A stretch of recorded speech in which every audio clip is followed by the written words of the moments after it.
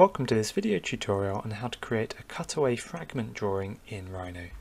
I'm going to be using this model here to create a technical detail fragment looking at and exposing the layers of construction within this drawing.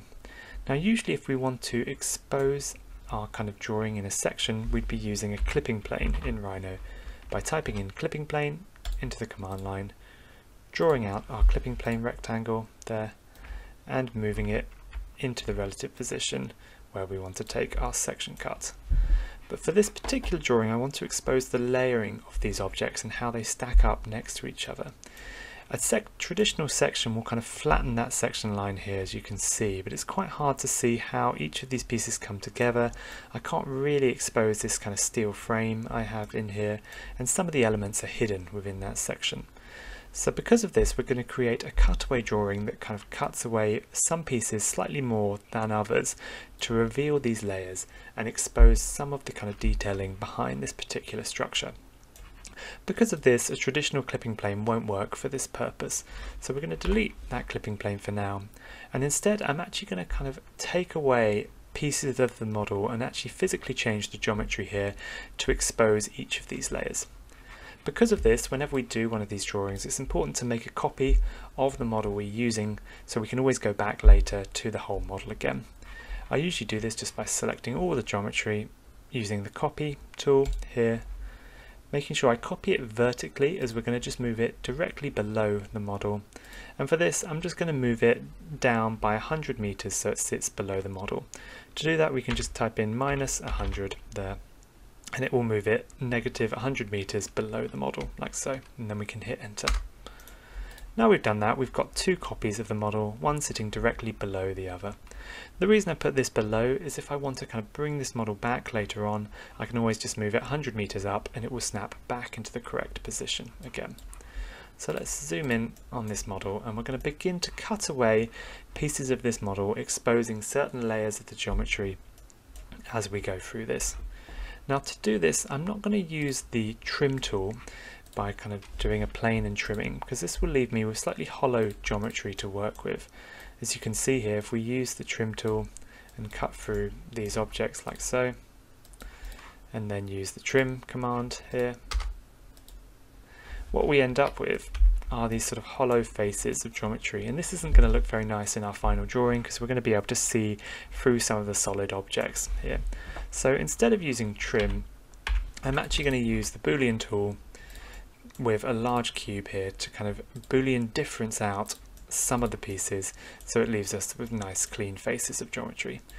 Obviously if you use the trim tool you can then cap the geometry but I find using the boolean tool slightly easier as we go because it will do this automatically for us. So the way I'm going to do this is just to push my cube into the place I want to intersect. So let's say we can start here just intersecting with this red wall piece there. We're going to then select the geometry that I want to remove and we'll select both these walls at the same time and also the floor. You can also just select these all at once if you know you just want to cut evenly through these red objects we could go into the layers right click on the walls and go select objects there and that will select all the wall objects at once. Because of this particular model, I'm going to be a bit more careful with this, so we're going to select them individually so we can have a little bit more control over what we're cutting. Then we're just going to go to the Boolean difference tool here, or type in Boolean difference, pick our cube we're subtracting with, make sure our delete input is set to no, and then hit enter there to essentially remove those pieces of the model, like so. Now what I'm going to do is I'm going to speed up the video and we're going to go through this just using the same process to cut away at other parts of the model, cutting back each part of this sort of skin, revealing these certain layers. You can see as I go through this, we're going to be kind of being quite careful of which pieces we're subtracting, which pieces we're not, always sort of going back and checking how it's looking and just deleting any excess pieces I don't need from the edge here. So usually this can take a little bit of time to get right, but it's important that we're quite careful with this process, that we're not kind of removing too much of the model that we don't want to, and we're sort of leaving in pieces and staggering that layer that we're cutting. This will allow us to kind of show and highlight certain parts of the model in relation to others. so we can be careful about what we're exposing and also kind of revealing in that way as well. Usually with this process I want to kind of show parts of the structure as a kind of primary structure and then kind of break this down into secondary structure etc. So we're really showing the build up of the building, how all of the layers kind of contribute to that build up as well. So we're kind of delicately picking apart each of these pieces to reveal how the building is created there.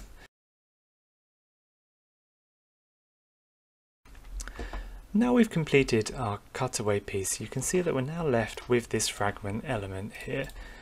I've chopped back each of these layers to expose certain pieces of the floor build up here, as you can see, revealing certain kind of infill panels, and we're just kind of keeping them subtracted in certain places so we can expose the frame next to the kind of glazing element. You can always tweak some of these afterwards as well if you want to just show a little bit more of these elements and others if we want to increase that glazing piece coming out like so and exposing some of the structure here. So you can see how I'm kind of revealing each of these layers just by stripping back that cut line slightly and staggering it as I go through the model. Same with the ground here, I'm cutting out a big chunk to show parts of the foundation elements there as well. So now we've completed this, we can now start to turn this into more of a drawing. To do this I'm going to do two things. We're going to first add some materials to this object to give it some materiality and some colour and then we're going to create 2D line drawing versions of this which we're going to combine together to create our final drawing. To create our materials I'm just going to be using the standard Rhino render for this but you could be using V-Ray or any other render engine to create this look. Um, I'm going to first check that I'm using Rhino render just in the render settings under current render and we're going to switch to the rendered view so we can see the materials in there as well. Once we're in that, we're going to go over to the Materials tab, just over in the Properties menu over here, and we're just going to remove any extra materials that we have from before and start to create some new ones. To do this, we're just going to click on the plus tab and we're going to be making physically based materials because I'm using Rhino's sort of built-in render engine and this is the kind of standard material that we can use for this. In there we're just going to make a selection of materials and I'm going to start with a sort of concrete material here for these walls. For my materials in this case I'm not going to give them any sort of image properties, we're just going to give them some block colours for now. So I'm just going to set the colour to a sort of reddish colour here. Let's do a sort of dark kind of matte red like so. We're going to play around with the roughness so it's not too shiny and then we're just going to apply it directly to the layers that my objects are on. Because I've layered my 3D model up via their materials, I can just apply the material directly to the layer, like so, by clicking on the walls, and it will apply it on there. So I'm just going to now go through and apply each of these materials kind of to the different layers as I go. I'll speed up the video for this because it's very much the same process of creating a material and adding it on to the relevant objects. So we're just sort of going to go through these and add in each of these material pieces in here as we go along. If you want to watch any other videos on material creation, I'll put a link in the description of this video on material creation videos for you to explore. Got a series on sort of material creation in V-Ray as well as in directly in Rhino Render. Um, so you can start to sort of explore how to add these in in places and how to create different materials for different objects. For this particular tutorial I'm just going to be creating very simple looking materials for these to give a sense of what these kind of the colouring of these particular materials might be but you can take this further in your own work to kind of add slightly more detail to these give them sort of slightly different properties as you go as well if you want very distinctive looks to the materials you're doing. Now I've completed adding those materials in, you can see we've now got a kind of different color on each of those objects that we can then go back and tweak if we want to tweak any particular properties related to that kind of color tone or adjust those settings in any way. As said, you can always kind of increase the complexity of these materials and add textures in if you want to as well, but for this particular tutorial, we're just going to stick with some block colors for this object. You can see as I've added them by layers, it will also have done it to the larger model below and this might mean if you want to kind of compose or compile these two objects together later on to create an image we can do so. So now what we're going to do is we're going to set up a view for this fragment that we're then going to be kind of turning into our fragmented drawing.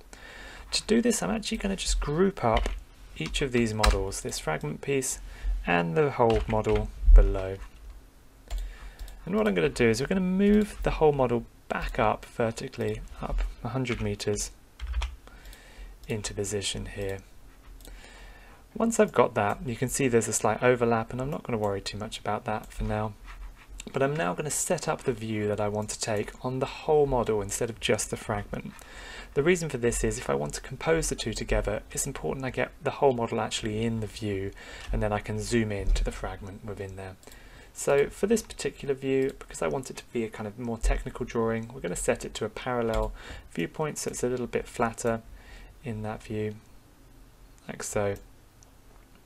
And we're just going to get a nice sort of isometric angle that we're working with there. Once you're happy with that and we make sure that the object's nicely framed in that window, make sure it's sort of central, I'm then going to save that view out as a named view so we can keep that view saved. To do that we're going to go to view, set view, named views and we're just going to save it to ISO view like so. I usually put the named view panel on the side here so I can get back to it later. Now we're going to create two two-dimensional drawings or make 2Ds of this model that we can use later on. To do this I'm just going to for now hide this particular fragment so we can't see it and we're just going to select all of the objects in my view make sure we're on that ISO view and do a make 2D there to create a 2D drawing from that view. For this we make sure we maintain the source layers and we maintain the viewport rectangle as this will allow us to easily line up the views later on. Once we've got that we're going to hit OK and it will just do our make 2D drawing. That will always be projected in your top view. So once you get it, we're just going to move it out the way, come back into that ISO view. We're going to show the objects again. So we bring back our fragment and we're going to hide the main piece this time, like so. Making sure we're locked in that view again. We'll do the same thing where we take the fragment, do a make 2D drawing from it, and then in our top view, we'll just take these out like so. So there we have our two 2D drawings of our view. Once we've got that, we can save those out, and I'm going to be adding quick line weights to these in Illustrator. So we're just going to go File, export these drawings out together. Make sure we export them as an Adobe Illustrator file, and we'll call this line work. So that's the line work version of the file, and that's now saved. We're now going to create a kind of rendered version of this. I'm going to start with the fragment view and we're going to go up to our render properties to start to tweak some of these properties before we render it. You can see the model looks okay here, but I want to actually get some proper lighting on this particular fragment model. So to do that, we're going to go into the render properties. We're going to scroll down to the lighting panel and I'm going to turn off this skylight, which is a kind of generic all-around light in the model, and we're going to turn on the sunlight instead. So it's just got the sun. We're also going to just tweak the resolution of this. I want to make sure the render is locked to the viewport aspect ratio. That way it will match the 2D drawings I've done as well. And we're just going to up this to 2000 pixels and up to good quality as well. If you want it slightly higher quality, you can put it on final, but it will take slightly longer to render. And for this particular demonstration, we're just going to go for good. Once we've got that, we'll hit OK, and you can see that the lighting has now changed here. If we want to tweak that lighting, I can open up the render tools in this tab here, click on the little sun icon, and if we tick this on manual controls, I can then start to tweak exactly where that lighting's coming in from. If you want certain sort of shadows on the building or you want the light sort of higher or lower in the sky. I think we'll go for something like this. And once you're happy with the lighting, it's always good that you go to the render preview to preview what this will actually look like when it's rendered, because this will be quite different to the rendered viewport view, which is just a kind of very quick preview of it. So let's hit the render preview button and give us a render preview of this. And you can see now the lighting's a lot nicer. we're getting kind of nice materials in there as well. It's still a bit grainy, but that's just because I'm on the sort of preview mode of this. I'm also going to up the resolution of this because my fragment is quite small within this larger page. So we're just going to up that resolution so we can see it in a bit more clarity. So to do that, we're going to go back to the render properties and up that resolution up to, let's say, a 4000 here. So it's a lot higher res there. This will take longer to render out, but that's fine for this particular model. Before we render this fragment out, I want to make sure that when I render this, we actually keep the background as transparent, and this will allow us to easily overlay it onto other objects in our drawing. To do this, we can go to Render, Render Properties, and under the backdrop, we can click on this transparent background option.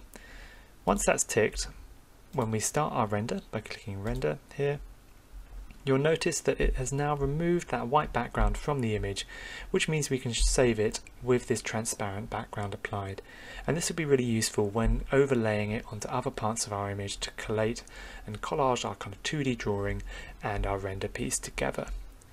As you'll see, this is now kind of ticking up in the left hand corner here up to a value of 500 and this value is set by the quality we've set the render to. So setting it to good sets it to 500 samples here, and the more the number of samples, the longer it will take to render out.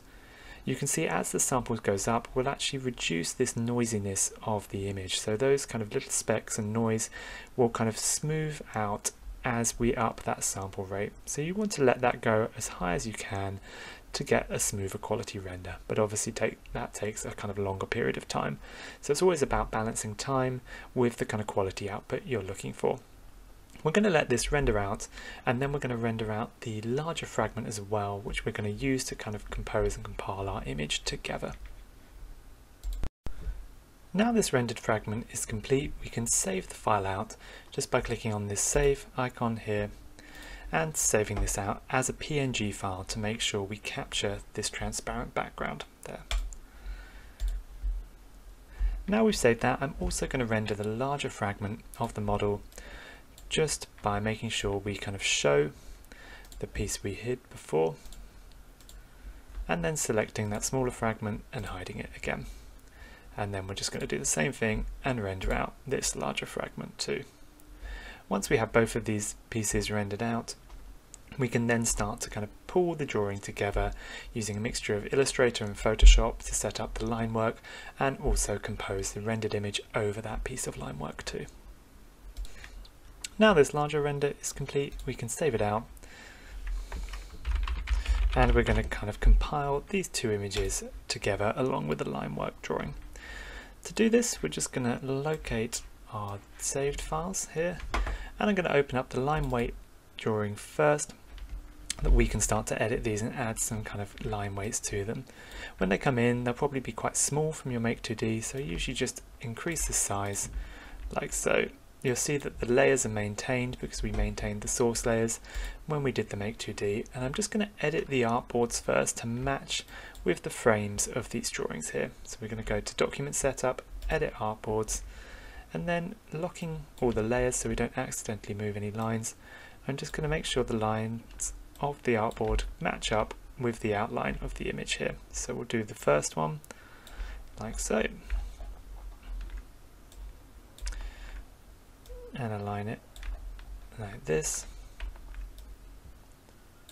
and then we're just going to copy that by holding the alt key on our keyboard and dragging it down to the one below and just aligning it to the corners of this artboard piece here like so. And there we have our kind of two artboards there.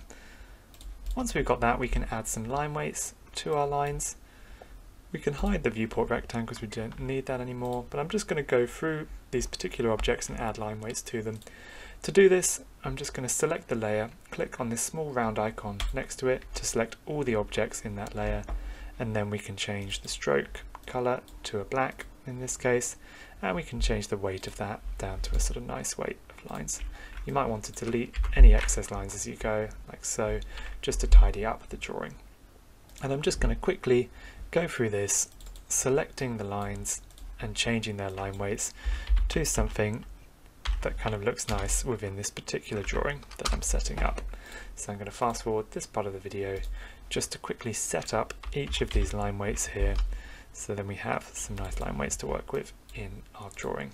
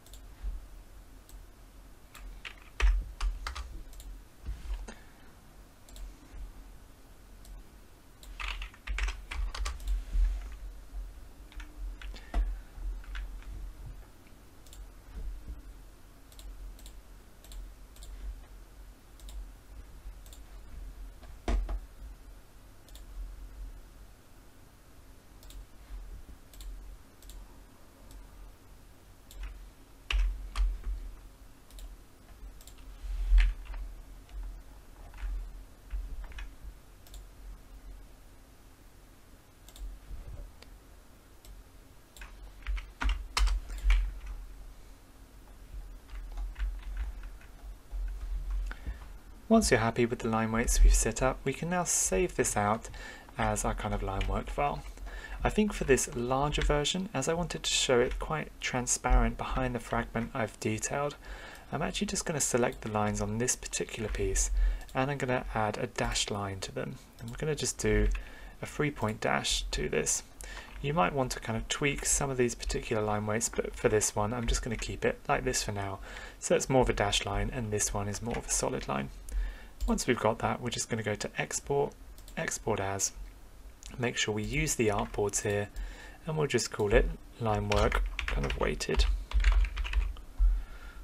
and export that out as a JPEG image, making sure we're on the maximum quality there. So now we've got all of these elements, we can start to compose them together in Photoshop. What we can do is we're going to start with this line work version and we're going to start with the sort of overall image of the line work and we're just going to click and drag that into our Photoshop file to open this up like so.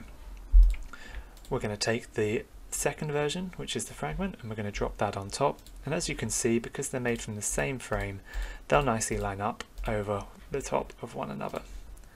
We're then going to take our rendered fragment here, drop that on top too and find our rendered building and drop that on top as well. So we've got all four of these fragments. You'll notice that they all line up nicely because I made sure I kept that aspect ratio the same in every view and this is quite critical to make sure all your pieces line up when you piece them together like this. Now for this we're going to start by just setting up the background piece. To do this we're going to take our kind of base dotted layer I'm going to put it on a multiply blending mode so it sits over the top of our kind of building element here we're going to move our fragments to the top here. So this will be in a new folder and we'll call this base. Under this I'm actually going to put just a white fill layer just to add a sort of backdrop to the image and this will allow me to essentially take my kind of building render and just drop that fill color so it's kind of nicely faded and transparent there and I just really want it just to have a little bit of the color of the image there too because we want to show the sort of outline of the building sort of transparent and then we're going to highlight the fragment that we're showing. I'm then going to just reduce that dotted line weight down and we'll just do it at a 50% opacity. So we've got a nice kind of faded view of the piece here. Then we can drop our technical fragment over the top like so. You can see now it's kind of isolated out of that piece. And we can do the same by putting the line work over the top. I'm going to then put that on a multiply layer to just have that sat over the top of my image here as well. So you can see that this has got its own line work on it. We can always kind of go back and edit that in our Illustrator file if we want to as well to add any more pieces to that too. Once you've compiled all of these together, we can then crop the image because we don't need to line up anything anymore. And I'm just going to crop it to make sure that fragment is the sort of center part of this particular image. Let's make this a kind of square one-to-one -one ratio for this particular piece and have it nicely centered on the fragment that we want to focus on, like so. From here we can then add any edits we want to as well to this particular piece. It might be that you want to give a nice kind of thick outline to your fragment too, and we can actually do this directly in Photoshop. The easiest way is because we've got our kind of technical fragment as a transparent background here, if you hold down the control key on that piece and select it with the left click of your mouse, you'll select the kind of outline of that object. We can then make a new layer. I'm going to fill this layer in just a white fill, like so. And then if we go down with that layer selected, I'm going to call this outline.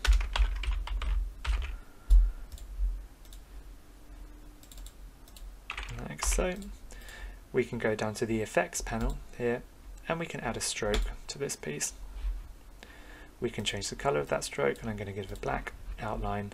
We're going to make sure this positions on the outside of this object and then we're just going to play around with that size to give it a slightly thicker line weight there and you can go back and tweak this if we want to. Once we've got that we can put that on a multiply blending mode and that will give a nice thick line weight to the outside of that object. You can always go back and tweak that if you want it to be thicker or thinner or you want it to be a different color as well just to make that piece sort of pop out slightly from its backdrop. So that was just a quick video tutorial on how to create a technical fragment drawing like so. We've looked at how to split apart and cut away at certain parts of our model to reveal the layers that are added to it. And if you wanted to take this drawing further, you could add in materiality, labels, and kind of annotations onto this as well to increase the clarity of that drawing. I hope you found this video tutorial useful and if you want to watch any other videos on texturing, rendering and creating drawings in Rhino and V-Ray, please check out the videos on the channel.